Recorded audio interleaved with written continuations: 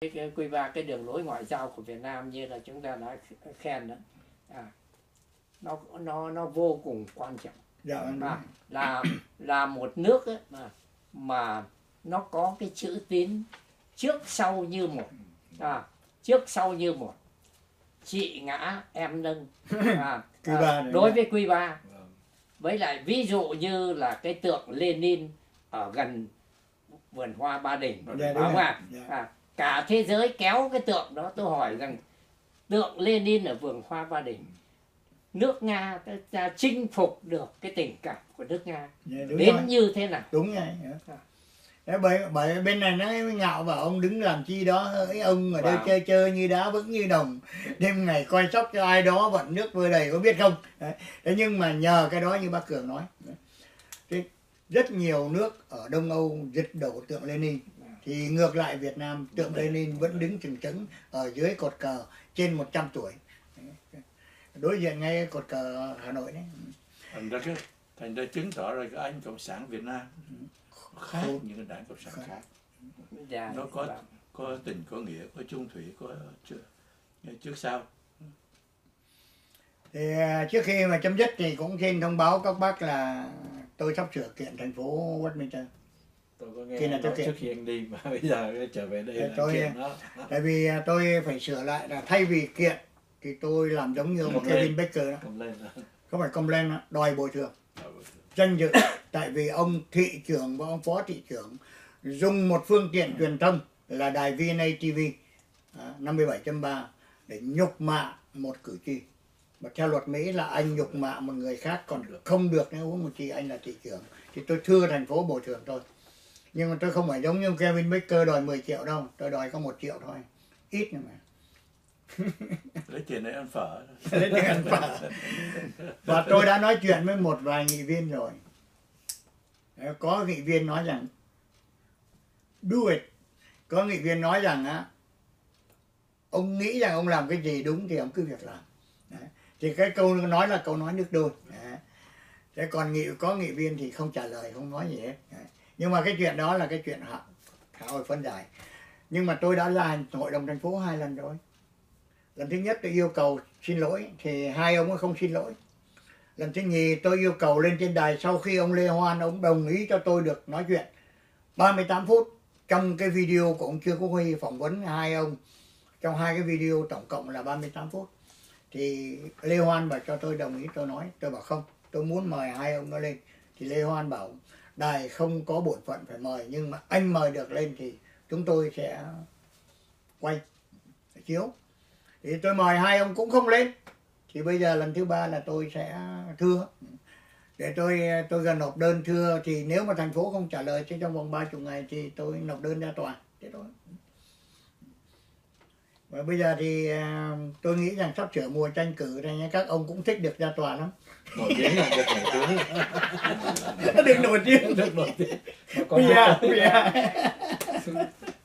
à, Và cái thứ hai nữa tôi sẽ cũng nói luôn. Cuối tháng tư này đó 30 tháng 4 này tôi sẽ yêu cầu hủy bỏ cái quyết định 8.1 tức là thâm xâm phạm tư tưởng của tôi. Tu cho nhãn thứ một. À, cái, cái tôi là là gì? Thứ nhất tự do hồi hộp thứ hai là tự do tư tưởng. Thứ ba tự do tôn giáo. Và thứ tư tự do báo chí. Cái thành phố Westminster là thành phố của tôi. Là cơ dân của Westminster chứ không phải là của mấy ông nghị viên ông là cái cớ gì ông làm cái thơ gì? Ông ra cái nghị quyết 8.1 là cấm treo cờ đỏ sao vàng. Cái đó là vi hiến đó. Đấy vi hiến. Và cái tổ chức ACLU họ nói với tôi rằng mày cứ nộp đơn đi thưa đi rồi tụi tao sẽ support. Tại vì cái tổ chức ACLU này nó chuyên môn đứng ra làm những cái vụ hiến chương vi phạm hiến chương của chính phủ Mỹ. Và khi nào thắng á, thì mới chia làm đôi và cái tiền của họ đặt ra đó là của họ đặt chứ không phải mình đặt. Thì tôi sẽ đòi tôi đòi là cái thành phố đó là do tiền thuế của chúng tôi. Xây dựng cái cái chỗ mà cơ sở để cho quý vị ngồi làm việc. Mà công việc quý vị làm là quý vị gì? Trong này có người Việt này người đại hàn này người mỹ này mỹ trắng mỹ đen này có người mễ này có người trung hoa này có người nhật bản này có đủ hết cái các sắc dân đây mà quý vị lại lấy mất cái thành phố quý vị dùng đó quý vị vào cấm treo cái cờ đỏ sao vàng ở trong khuyên quân thành phố. Và chính ông giám đốc thành phố là ông ờ, Eddie Manford ông đã trả lời ông ờ, Vũ Hoàng Lân rồi. Vũ Hoàng Lân hỏi rằng nếu mà có người cầm cái lá cờ vàng ba sọc đỏ à, cờ đỏ sao vàng ở trong thành phố thì sao? Ông bảo họ, họ vẫn có quyền. Quyền của họ chứ. quyền của họ. Thế nhưng mà tôi sợ rằng là có những cái phản ứng bất lợi trong cái cái cộng đồng này. Cái câu này ông chửi cái cộng đồng này đó. Là rồi ra khi mà chúng tôi can thiệp thì người đó đã bị tổn thương rồi có thể thiệt hại cả tính mạng. Thì tôi nói rằng thế tại sao biết như vậy? Tại sao lại còn đưa ra cái xác luận đó như vậy? Quý vị đưa xác luật đó vô hình chung bác hội khiến khuyết khuyến khích những người chống cộng cực đoan này đi tấn công cái người cầm cờ lá cờ đỏ sao vàng thế thì đó, cái 30 tháng 4 trong lúc mà tôi vừa nộp cái đơn này xong, các ông chưa giải quyết thì 30 tháng 4 tôi sẽ mở một cái lo suốt đầu tiên là sẽ yêu cầu thành phố lấy lại cái nghị quyết đó. Các ông vi phạm quyền tư tưởng tôi nước mỹ có 7 triệu đảng viên đảng cộng sản. Và cái lá cờ đó không phải là lá cờ của đảng cộng sản lá cờ nó được quốc tế trong công nhận rồi hợp pháp mà Ừ.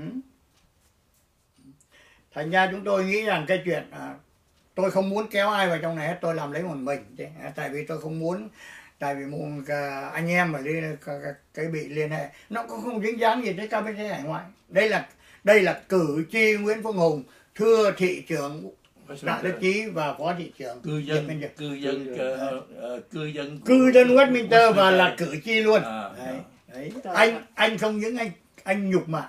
Bác, bác, bác, biết không? bác ở cái thế cư dân là, là, là, vừa bác- cư dân vừa là cử tri. bác mạnh hơn chúng tôi rất nhiều. Chúng tôi ở ngoài mà.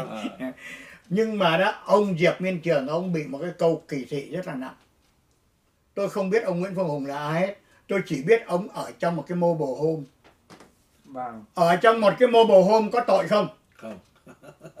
What the hell are you talking about? Dạ, m- mấy cái nghị viên thì cái loại nó hớ hênh lắm thế nhưng mà nó nó có cái, cái này. Ví dụ như là về cái vụ tạ đức chí mà nói có người mang cờ đỏ sao vàng đó thì thằng này à, nó trả lời cũng khéo lắm. Nó bảo rằng thì là tôi nghĩ rằng người ta không nên chuốc lấy cái sự phiền hà. Đúng không ạ? À, người ta du lịch cái gì là không nên chuốc lấy sự phiền hà. Đấy là một. Còn cái câu chuyện đó mà anh Hùng nói rằng thì là sắp tới mùa bầu cử đó thì anh kiện cái anh kiện cái thằng này nhiều khi nó nó thích à, đấy. À nó bởi vì giống như ông Donald Trump này à, bởi không bởi vì rằng nó là phản ứng ngược. Tức là tôi là người chống cộng cực backfire backfire không nó nó backfire mà tôi là người chống cộng cực đoan. nó chứ nó ra biết là người ờ, biết là những người khác không bỏ chán đấy à, riêng cái này là tôi là nạn nhân à, của những các cái người mà à, à, chống cộng. chống Chống cộng. à, chống nhưng mà- ngược lại bác bây giờ đó cứ nhìn cái đó nếu mà vì cái cờ vàng ba chọc đỏ đó thì mình không tới 100 người mà mình lại có chia làm bốn phe đánh nhau. À, thế thì nó mới và lại lại cũng Phan Kỳ Nhân đánh Tyler Diệp. Mà bác biết rằng Tyler Diệp kỳ này tháng 6 này đó là phải tranh mới lại ông Alan Lowenthal mà Alan Lowenthal là ai? Là người được đảng Việt Tân support. Bởi vì Lý Vĩnh Phong là nguyên chủ tịch của hội, tổng hội sinh viên, đang là nhân viên Việt Nam đại diện cho ông. Thì ra ra và rõ ràng ông Phan Kỳ Nhân muốn quánh Tyler Diệp quánh răng đi để cho ông Alan Lowenthal vào. Cái này có phải là cõng rắn gắn, cắn gà nhà không? Giống như Nguyễn Xuân Nghĩa ngày xưa ủng hộ Oje Solorio để đánh Gian An Nguyễn, mà rốt cục Oje Solorio vẫn bị rớt đài mà Gian An Nguyễn vẫn được thắng. Thì bây giờ ông Phan Kỳ Nhân nói là lên đài Phan Kỳ Nhân, Văn Tấn Nghiêu, Trần Thanh Hiền quánh Gian An Nguyễn. Chửi Gian An Nguyễn bây giờ lại quay lại xung xe này cái, đi biểu tình với Gian An Nguyễn. Cái cộng đồng này nó vui lắm. Đấy thì nó, nó là nó, anh đã nói rằng thì là cái cộng đồng này nó bắn vào chân nó hay ở cái chỗ đó nó bắn trúng nữa chứ. Nó không những nó bắn vào chân mà nó bắn trúng chứ. Nó không biết nó là ai nữa người sau nó quay đi quay lại mà không khéo nó còn gửi thôi nó cảm ơn bác đấy quảng cáo không công việc cho nó. đúng. Không, mà, nếu mà gửi thơ cảm ơn là tôi đòi tiền á. Đây là quảng cáo mà Ad- advertisement. Paid by nghĩa là uh, tạ đức chí. Rồi